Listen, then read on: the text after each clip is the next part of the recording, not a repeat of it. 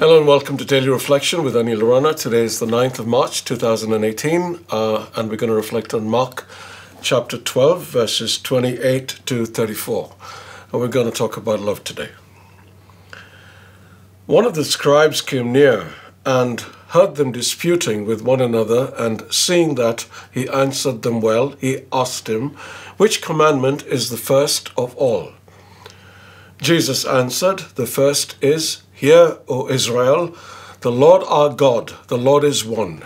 You shall love the Lord your God with all your heart, and with all your soul, and with all your mind, and with all your strength.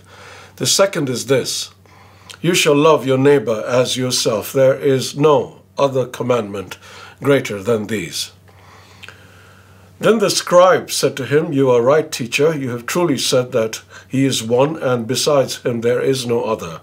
And to love him with all the heart, and with all the understanding, and with all the strength, and to love one's neighbor as oneself. This is much more important than all whole burnt offerings and sacrifices. When Jesus saw that, he answered wisely. He said to him, You are not far from the kingdom of God. After that, no one dared to ask him any question. The Gospel of the Lord. Which commandment is the greatest of all? asks a scribe. And what a welcome change from the usual questioner who tries to trap Jesus into saying something wrong. Here is a man who actually seeks a better understanding about the things of God. There are so many commandments. Remember, for the Jews, there were 613 laws that they followed.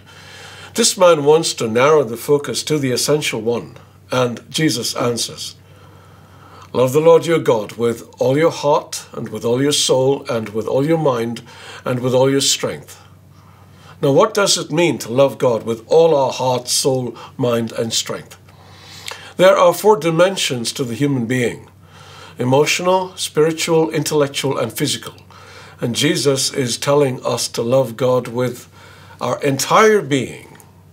And then he adds very quickly, lest we make it only about a vertical connection between God and us, you shall love your neighbor as yourself. And this love for our neighbor is a barometer of our love for God. Because as the Apostle John writes, those who say, I love God and hate their brothers or sisters are liars. For those who do not love a brother or sister whom they have seen cannot love God whom they have not seen. You'll find that in 1 John 4.20.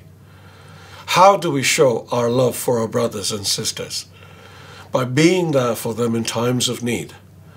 Towards the end of the Gospel of Matthew, we find Jesus saying that whatever we do to the least of our brothers, we do unto him.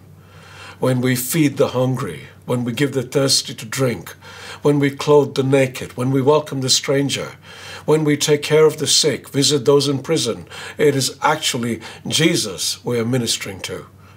This is how we show our love for God because if we didn't love Him with everything we have, we wouldn't really be able to do all of this. We would be self centered, self absorbed people. But when we love God, especially in the manner that He asks us to, we give everything of ourselves to Him. Then He in turn gives everything of Himself to us, making us people of true love. God bless you.